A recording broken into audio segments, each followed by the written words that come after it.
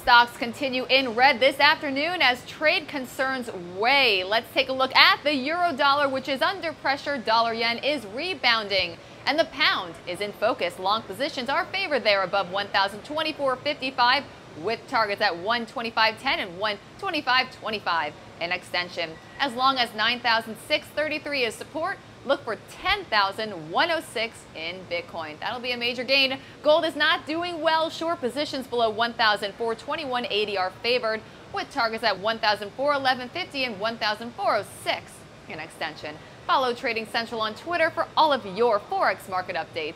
And for Trading Central Web TV from the New York Stock Exchange, I'm Olivia Voznenko. Have a great afternoon.